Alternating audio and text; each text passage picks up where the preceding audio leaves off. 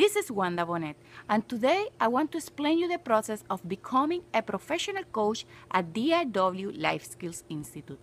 If you feel the calling to become a coach, DRW is the place to go. The process is simple.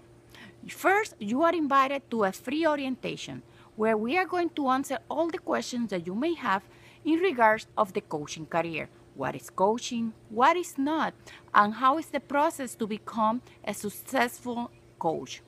The second step is an assessment.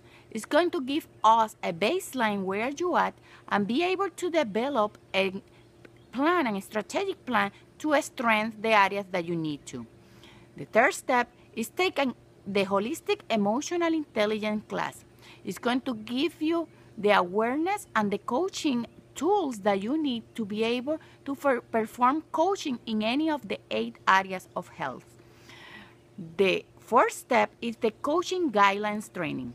There you're going to learn about code of ethics, core competencies established by the International Coaching Federation because our school is aligned to those standards.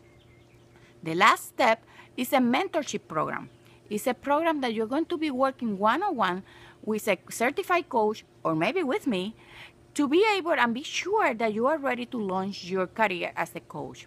If you have any questions, feel free to call us 321 209 4379 or visit our website at www.drwinstitute.org. Again, if you want to become a professional coach, DRW is the place to go. Have a wonderful day and think about it. If you feel the calling, DRW is the place to go. See you soon.